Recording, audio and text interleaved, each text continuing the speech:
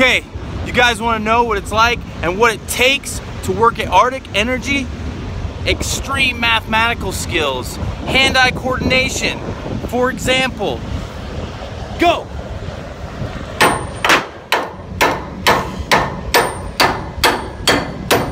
Rig down, bitches.